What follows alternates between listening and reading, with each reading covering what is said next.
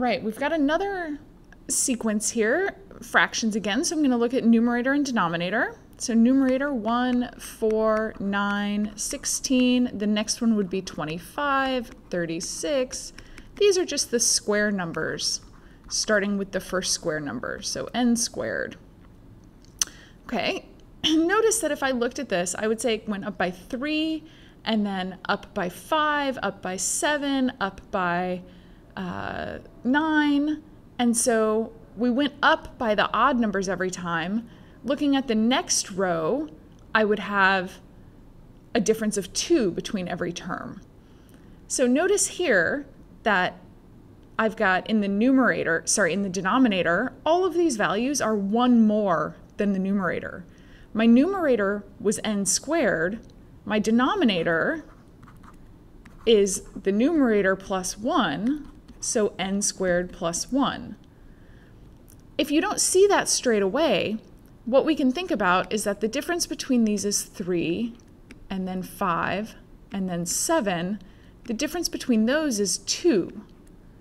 So once you get to a point that you have a common difference, then you know what type of sequence you have.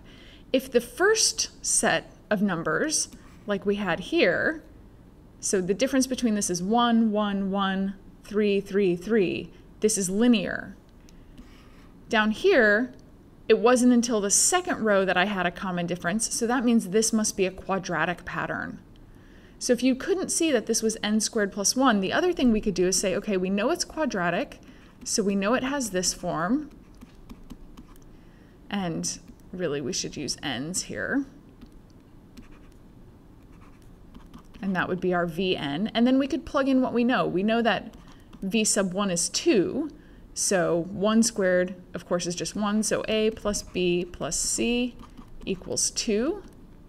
We know v sub 2 is 5. So 4a, because 2 squared is 4, plus 2b plus c is 5.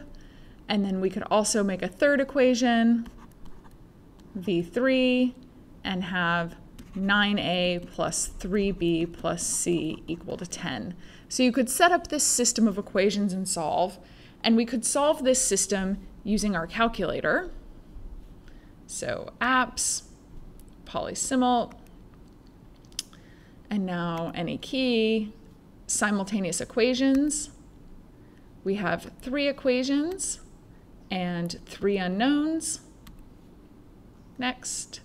And now we could set up our matrix. So 1, 1. So these are all my coefficients. 1, 1, 1, and then solution is 2, 4, 2, 1, 5, 9, oops, 9, 3, 1, and then we got 10 as our next term.